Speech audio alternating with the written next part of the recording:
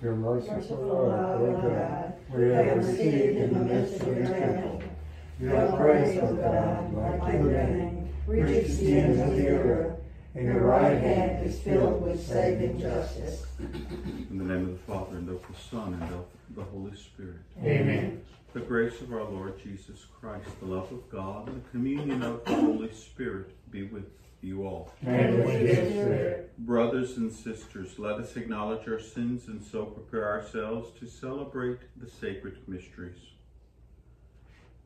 Have mercy on us, O Lord. For we have sinned against you, Show us, O Lord, your mercy. and grant us your salvation. May Almighty God have mercy on us, forgive us our sins, and bring us to everlasting life. Amen. Let us pray. O God, who in the abasement of your Son have raised up a fallen world, fill your faithful with holy joy. For on those you have rescued from slavery to sin, you bestow eternal gladness. Through our Lord Jesus Christ, your Son, who lives and reigns with you in the unity of the Holy Spirit, God forever and ever. Amen.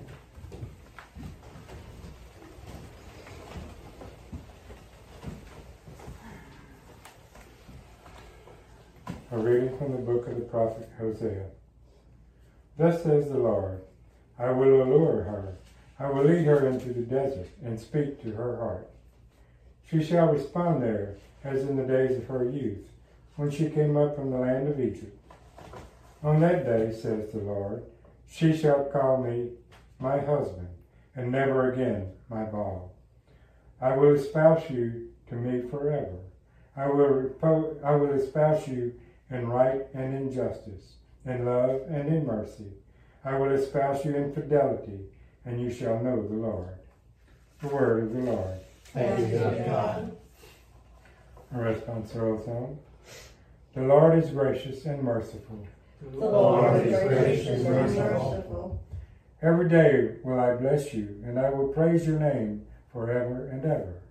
Great is the Lord, and highly to be praised. His greatness is unsearchable. The Lord is gracious and merciful. Generation after generation praises your works and proclaims your might. They speak of the splendor of your glorious majesty and tell of your wondrous works. The Lord is gracious and merciful. They discourse of the power of your terrible deeds and declare your greatness. They publish the fame of your abundant goodness and joyful sing of your justice. The Lord is gracious and merciful. The Lord is gracious and merciful, slow to anger, and of great kindness. The Lord is good to all, and compassionate toward all his works. The Lord is gracious and merciful. Alleluia, alleluia. Hallelujah, hallelujah. Our Savior, Jesus Christ, has destroyed death and brought life to light through the gospel. Hallelujah, hallelujah.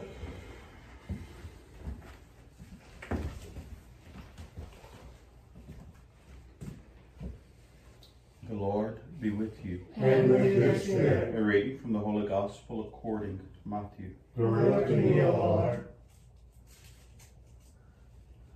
While Jesus was speaking, an official came forward, knelt down before him, and said, My daughter has just died, but come, lay your hand on her, and she will live.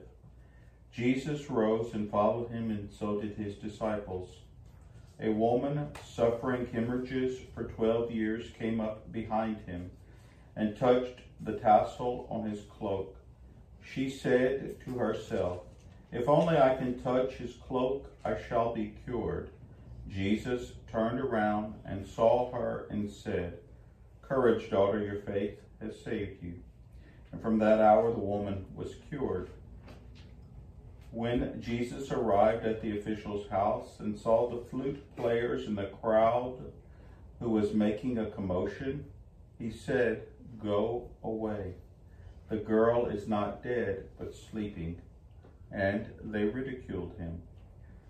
When the crowd was put out, he came and took her by the hand, and the little girl arose. And news of this spread throughout the land.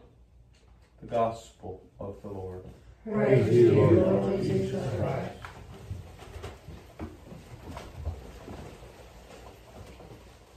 Good morning. Amen. A few weeks ago, while in our men's prayer group,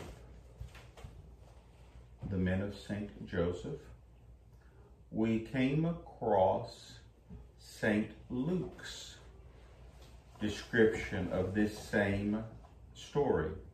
For Matthew, Mark, and Luke all record this story of Jairus' daughter being brought back to life and the woman who was suffering of the hemorrhages. And one of the men in the group pointed out something that, although reading it for years, I read right past it and never stopped to realize. The girl was 12 years old. The woman suffered for 12 years. 12 years. And he asked, Is there a correlation for that? And I've been thinking about that ever since, wondering and trying to find out an answer to that because that was a phenomenal question. And I forget the gentleman who asked, but there is a correlation between the 12 years. The woman suffering, the little girl, age 12, dead. And what is that? Is because the correlation is Jesus and his mission of salvation. For in essence, both the woman and the girl were dead. Technically, the girl is dead. She is not breathing. And please, I know some might say, well, she was only asleep because Jesus says she was asleep. Um, no, she's dead. Okay. I, I don't think humanity is that ignorant they can't tell a person is dead from a person who's asleep. Jesus speaks of her being asleep. For death is different for Jesus. Whereas the woman who had been suffering for hemorrhages, she, in a Judeo religious sense, according to the law of Moses, she is dead. Not physically, but in a sense, as death is a separation, she is separated from the worshiping community. She's unclean. Both experience some form of separation, and both are brought back into the community. The woman is now able to worship at the temple, she's able to give praise to God with others as the little girl is brought back into her family and they're able to praise God for this moment. Whether, and I guess this is the lesson that I considered this morning in reflecting further on it, I thought, now whether it is uh, spiritual death or the physical death, we're never separated from God. God came because he loves us. He loves us even before we were conceived in the womb of our mothers. The moment he thought of us, he loved us, and that's why we came into being, because of his love. God does not want any of us to be separated from him. We can choose, however, separation. We can choose to sin, commit a mortal sin, and choose to separate ourselves from the love and mercy of God. But death, illness, these can't separate us from the love of God as we hear so often proclaimed. So let us approach the real illness that can separate us sin. Let us turn to God, the one physician who can heal us that sin through his mercy. Let us seek him by going to his ambassadors, his representatives on earth, his priest. Let us seek the healing balm of forgiveness through the sacrament of reconciliation. Let us be brought back into the worshiping community and be alive again. What can separate us from the love of God? Not death, not sickness, only sin. So let us humble ourselves and allow Him to heal us of that sin. May Almighty God be with you. May He bless you, the Father, Son, Holy Spirit. Amen. Coming together as one family in faith, we offer to God our prayers and our needs. We pray for our Holy Father, for Archbishop, for all priests, religious brothers, sisters, permanent deacons, and seminarians. We pray to the Lord. Lord, hear our prayer. We pray for those who are sick or suffering in any way this day and those who care for them. We pray to the Lord. Lord, hear our prayer. We pray for the needs of our brothers and sisters who watch this Mass on video and for the needs of you here present in our chapel this morning. We pray to the Lord. Lord, hear our prayer. We pray that the Infant of Prague will continue to watch over the finances of our parishes. May we always have enough for what we need. We pray to the Lord. Lord, prayer. Offering all our prayers to the Father, let us conclude asking Mary, the Mother of God, to intercede for us as we pray. Hail Mary, full of grace, the Lord is with thee. Blessed art thou among women, and blessed is the fruit of thy womb, Jesus. Holy Mary, Mother of God, pray for us sinners, now and at the hour of our death. Amen.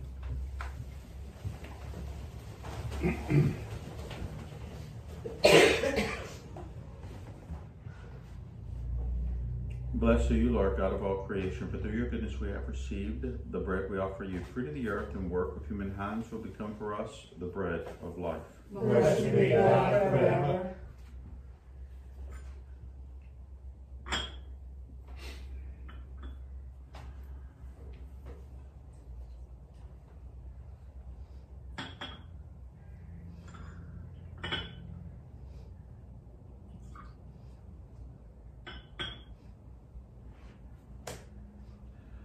Blessed are you, Lord God of all creation, for through your goodness we have received the wine we offer you.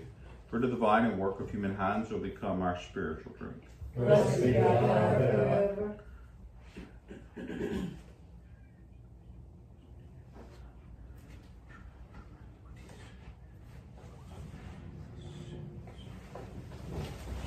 Pray, brothers and sisters, that my sacrifice and yours may be acceptable to God, the Almighty Father. May the Lord accept the sacrifice in your hands for the praise and glory of his name. May this oblation dedicated to your name purify us, O Lord, and day by day bring our conduct closer to the life of heaven. Through Christ our Lord. Amen. The Lord be with you. And with your spirit, Lift up your hearts. we lift them up to the Lord. Let us give thanks to the Lord our God. It is right and just. It is truly right and just, our duty and our salvation, always and everywhere to give you thanks, Father most holy, through your beloved Son, Jesus Christ, your word, whom you made all things, whom you sent as our Savior and Redeemer.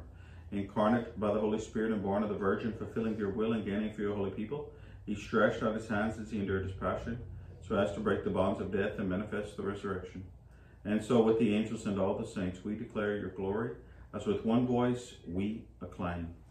Holy, holy, holy Lord, God of hosts, heaven and earth are full of your glory. Hosanna in the highest. Blessed is he who comes in the name of the Lord. Hosanna in the highest. You are indeed holy, O Lord, the font of all holiness. Minister therefore these gifts, we pray, by sending down your Spirit upon them like the dewfall, that they may become for us the body and blood of our Lord Jesus Christ. At the time he was betrayed and entered willingly into his passion, he took bread and, giving thanks, broke it, and gave it to his disciples, saying, Take this, all of you, and eat of it, for this is my body, which will be given up for you.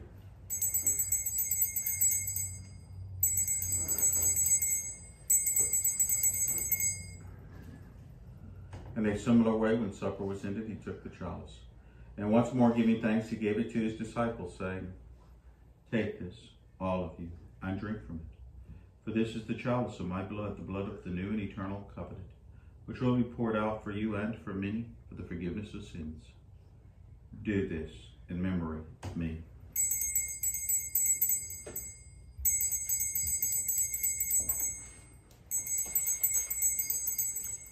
The mystery of faith. Save us, Savior of the world, by your cross and resurrection, give us the.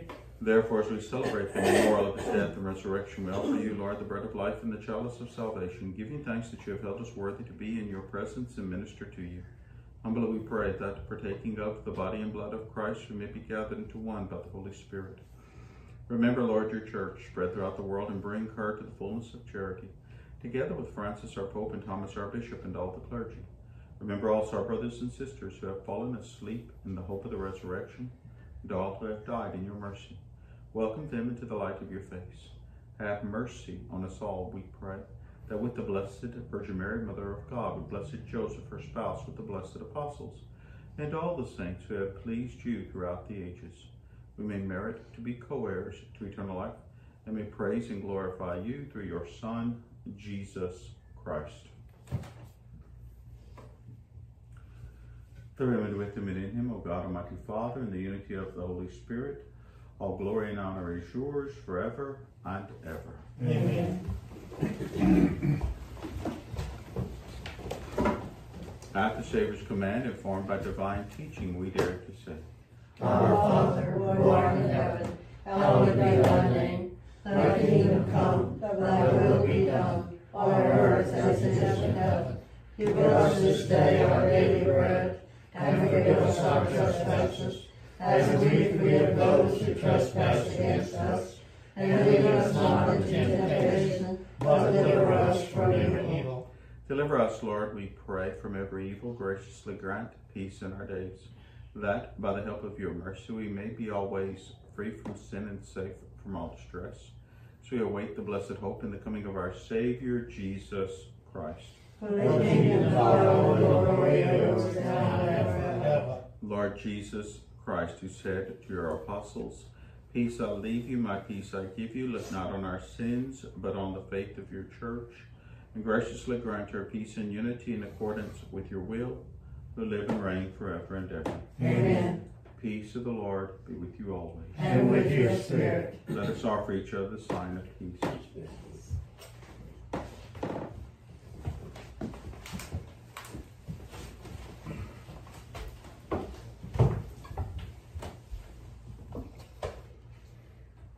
Lamb of God, You take away the sins of the world, have mercy on us. Lamb of God, you of the world, have mercy on us. Lamb of God, you take away the sins of the world, grant us peace.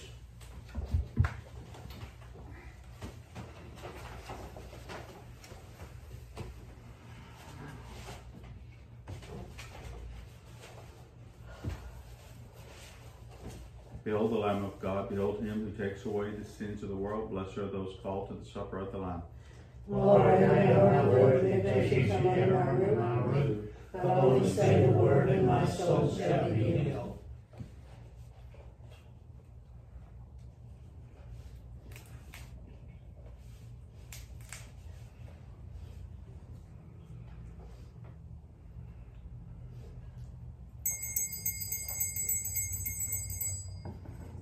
Taste and see that the Lord is good. Blessed the man who seeks refuge in him.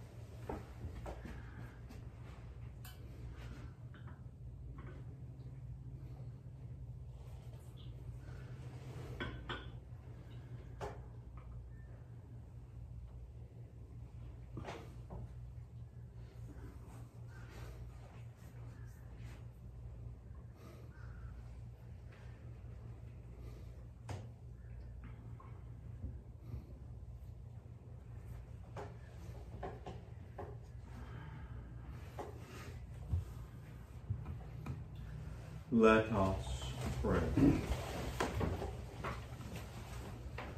Grant, we pray, O Lord, that having been replenished by such great gifts, we may gain the prize of salvation and never cease to praise you. Through Christ our Lord. Amen. The Lord be with you. And with your May spirit. Almighty God bless you, the Father, and the Son, and the Holy Spirit. Amen. The Mass is ended. Go in peace. Thanks be to God. Prayer to Saint Michael. Holy Michael, the archangel, defend us in battle. Be our protection against the wickedness and snares of the devil. May God rebuke him, we humbly pray. And do you, O Prince of the heavenly hosts, by the divine power, thrust into hell Satan and all the evil spirits who wander through the world seeking the ruin of souls. Amen. The divine praises. Blessed be God, blessed be his holy name. Blessed be Jesus Christ, true God and true man. Blessed be the name of Jesus. Blessed be his most sacred heart. Blessed be his most precious blood. Blessed be Jesus, the most holy sacrament of the altar. Blessed be the Holy Spirit, the Paraclete. Blessed be the great Mother of God, Mary, most holy. Blessed be her holy immaculate conception. Blessed be her glorious assumption. Blessed be the name of Mary, Virgin and Mother. Blessed be Saint Joseph, her most spouse.